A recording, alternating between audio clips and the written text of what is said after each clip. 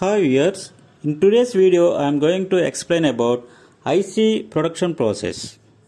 So before going to know about the fabrication process, first of all we have to know what is an integrated circuit. So in the name of uh, the integrated circuit itself it gives the information that uh, the integrating of different number of components that are interconnected which are forming a circuit. That means an integrated circuit is a set of electronic circuits mounted on a small electronic chip. We may simply say that an integrated circuit is a set of all active and some of passive components that are fabricated on a single silicon strip. This is the uh, best definition for an integrated circuit. Here all of you know what is an active component and what is a passive component. The diodes and transistors are called as active components because they are performing some operations or modifications in the signals and also they are capable of generating the signals or creating the signals. But coming to the resistor, capacitor and inductor, these three components are called as passive components because they can't do any modification or any creation in the signals.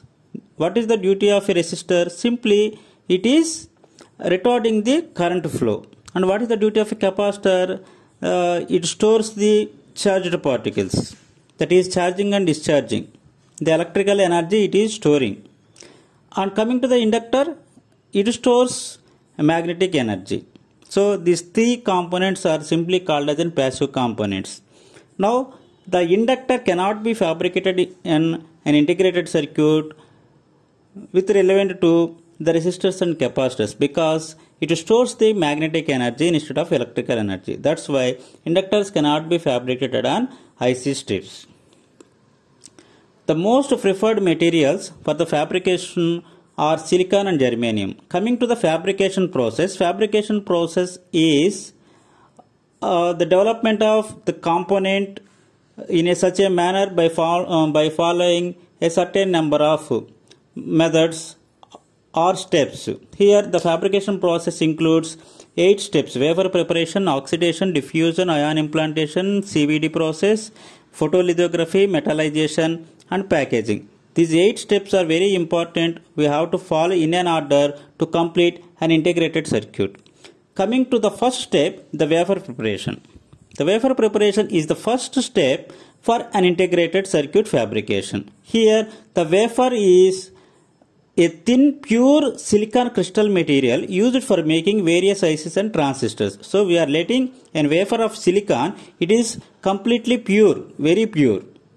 In that uh, if you want to use a substrate as a type of N type or P type, then we have to uh, diffuse some impurities into that substrate. So if you want to diffuse n type of materials, you have to use pentavalent elements. If you want to uh, get a p-type substrate, then you have to place uh, trivalent impurities into the substrate. This wafer preparation involves the cutting, shaping and polishing the wafer material to make it as suitable for further fabrication methods. And the second step we have is an oxidation. Here the oxidation process is simply the reacting an oxygen that oxygen may be available in the form of a gas or a steam with silicon to form the silicon dioxide material. Why we have to place this uh, silicon dioxide material uh, means the substrate which has a full of impurities has to be protected. For that protection the entire surface of the substrate we have to place an dielectric material that is silicon dioxide layer. The oxidation is carried out at a high temperature of 1250 degrees Celsius. Here this oxidation is available in terms of two ways eh, either as a wet oxidation and dry oxidation. Where wet oxidation means we have to react oxygen in the form of steam with silicon dioxide. Si plus 2H2O gives as SiO2 plus 2H2. And coming to the dry oxidation, it has a good electrical properties. The oxygen gas is directly reacting with the silicon to form the silicon dioxide layer. So Si plus O2 which is gives as SiO2 layer. This oxidation is the second step that is very very important which may be used for the protection of the substrate.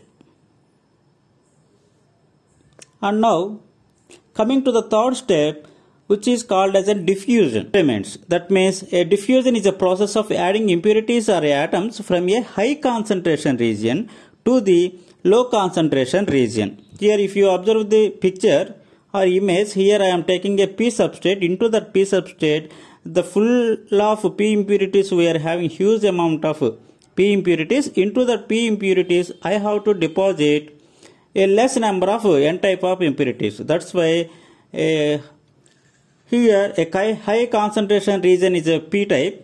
We have to place a low concentration of on electrons or n types. So this diffusion process is simply the adding of impurities from high concentration region to the low concentration region. The process of diffusion is highly dependent on the temperature. It is carried out in between 1000 degrees Celsius and 1200 degrees Celsius.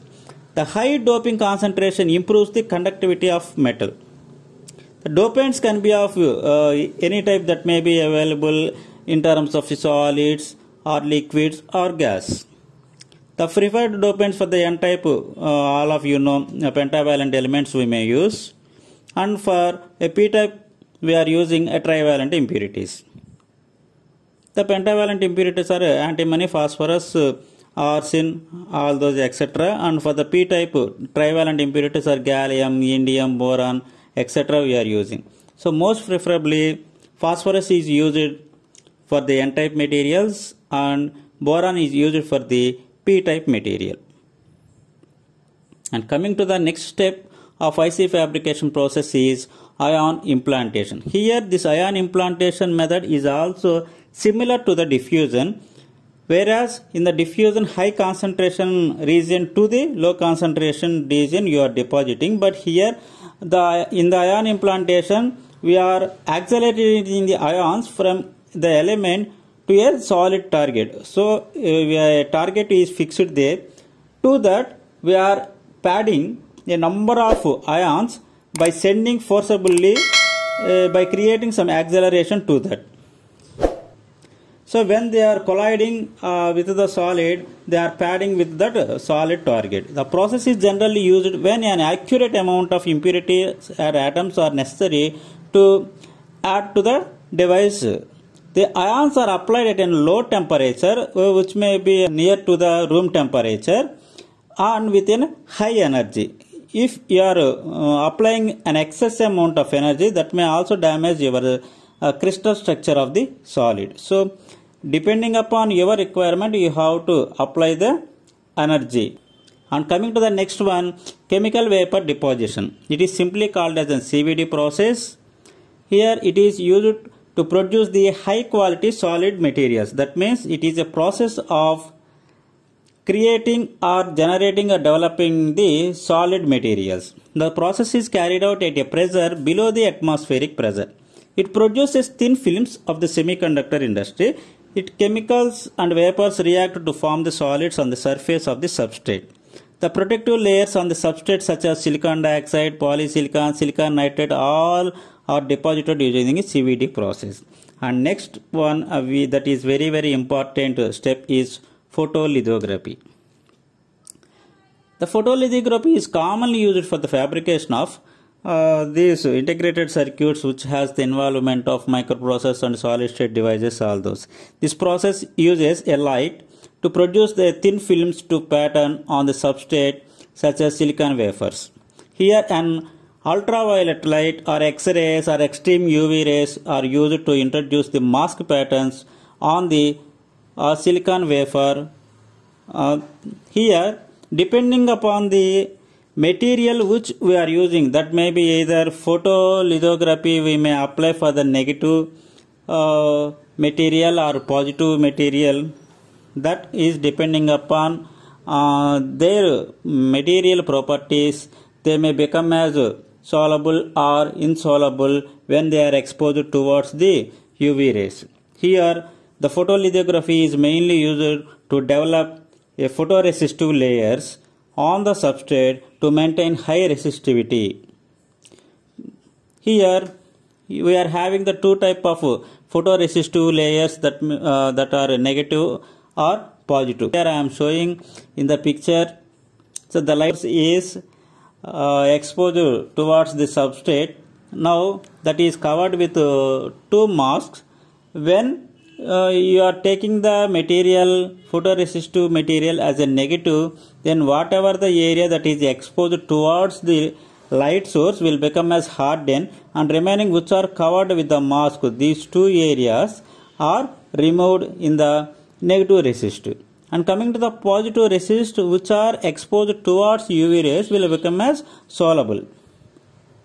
So that is the difference we are having in the negative and positive photoresistive materials. Depending upon your requirement we are using that. And coming to the next step that is called metallization. Here this step is very important to develop a ports or pins which may indicate drain, source and gate terminals in the MOSFETs. So metallization is defined as it is the process of coating a metal layer on the metallic surface or non-metallic surface. The coating can be used uh, aluminum, zinc or silver. Most probably we are preferring the use of aluminum. Metallization is also used to interconnect various components that form an integrated circuit. So what are the different semiconductor components we are placed on a single silicon crystal? They, all those has to be connect uh, with the aluminum metals. For that we are using a metallization process. And coming to final step of IC fabrication process is called as packaging. Packaging is the last stage of an uh, IC fabrication process. Here uh, the finished silicon wafers are chips of various sizes with a number of small components are, are uh, sent to test whether it is electrically doing or working properly or not. If whatever the components are integrated circuits that were not reaches to our requirement, they all should be separated from the good circuits and they are sent for verification. And which are the circuits are good in their operation, they will be sent for the packaging. Now the package is finally sealed with an epoxy or a plastic to prevent it from the atmospheric dust. So packaging is also very very important as a final step in the IC production process.